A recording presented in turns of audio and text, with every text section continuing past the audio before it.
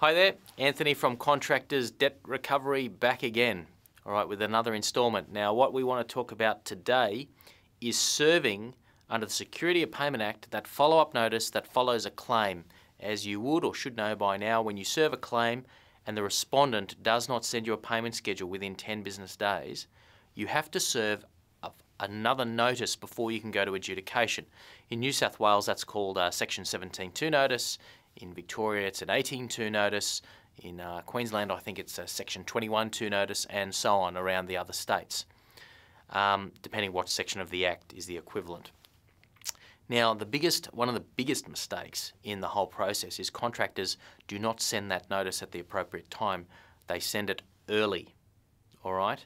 Um, they send a payment claim, wait 10 business days, no payment schedule comes from the respondent, and they send that notice immediately on the 11th business day, all right?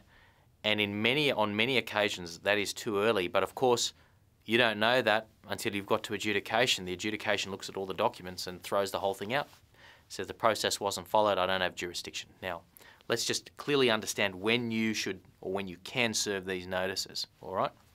So, we've got here month one, month two, three, and month four, approximately. Okay, let's say you serve a payment claim your reference date under your contract is claims are to be served on the 25th of the month. Very common. Let's let's adopt that. Okay, so I've served my claim on the 25th and I need a payment schedule within 10 business days uh, from the respondent, which will take me to approximately approximately the 8th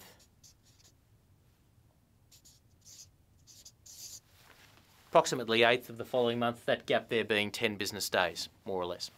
Okay, now let's say by the 8th you don't get a payment schedule. Well, what the acts around the country say is that that follow-up notice can only be served after the due date for payment. I abbreviate that to DD4P. Can only be served after the due date for payment, not after 10 business days, after the due date for payment. So the big issue for you to consider is under this contract, when is payment due? Now, many contracts say claims in by the 25th, payment 30 days, um, end of month, which means that payment at the 25th here will be due at the end of month two. There. There's the due date for payment. Now, if that is the case, then you can only serve the notice after the 30th of that month. So let's say this is, let's say March, April, May, June. So you've served your claim on the 25th of March. The due date for payment is the 30th of April. Let's say you don't get a payment schedule. You then have to sit on your hands and wait till the due date of payment passes, 30th of April, and here, then you can serve your notice and in most jurisdictions you have a window of 20 business days after the due date for payment in which to serve that notice. You can serve it on the first day available or any time within that 20 business day period. Okay?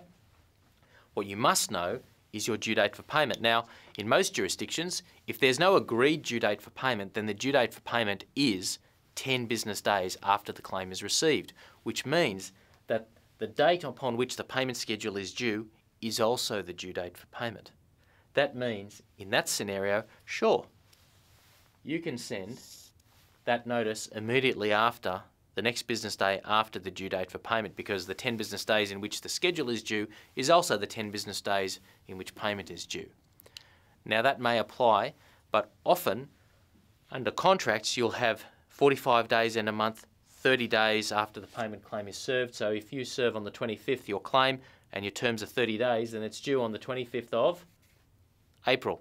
So you need to wait till the 26th of April or thereabouts before you can serve that next notice. You have to wait till after the due date for payment. Now, very common mistake, contractors wait 10 days and regardless of the due date for payment, the next day they just serve that notice and go on their merry way and then the whole thing gets thrown out. Okay? So the purpose of this talk is just to make you aware that you have to wait till the due date for payment and then serve those notices only after the due date. All right. So I hope I've uh, made that clear with that uh, scribbly diagram, but it's a very, very important uh, part of using the Security of Payment Act uh, around Australia. All right, if you've got any questions, give us a call on the number at the bottom of the screen, or otherwise, we will see you next time. Cheers.